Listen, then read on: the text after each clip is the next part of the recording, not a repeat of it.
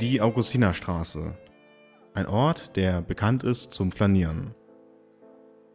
Die Straße ist rund 270 Meter lang, was bestimmt nicht die längste Straße ist, aber eine der bedeutsamsten. Vor langer Zeit war die Augustinerstraße die wichtigste Mainzer Geschäftsstraße. Die ziegelroten Balken des Haus des Aschaffenberg am Kirchgarten erzählen eine lange Geschichte. Im 15. Jahrhundert erbaut, mehrmals restauriert, zieht es viele Spaziergänger in seinen Bann.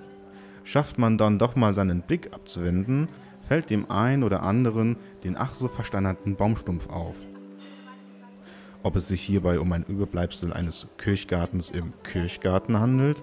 Nein, denn der Name entstand aus der Quelle Kirchborn. Man vermutet, dass hier einst eine Eichel stand.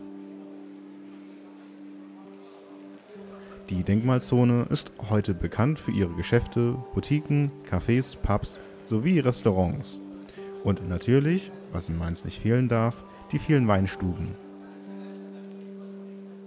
Ein ganz besonderer Blickfang ist die Augustinerkirche. Hier ließ sich im 13. Jahrhundert der Augustinerorden nieder.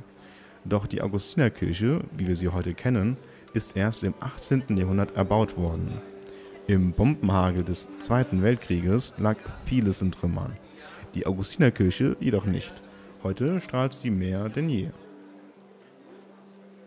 Was viele über die Augustinerstraße nicht wissen, in dem heutigen verkehrsberuhigten Bereich der Innenstadt fuhr einst eine Straßenbahn entlang. Manch einer mag sich vielleicht noch daran erinnern.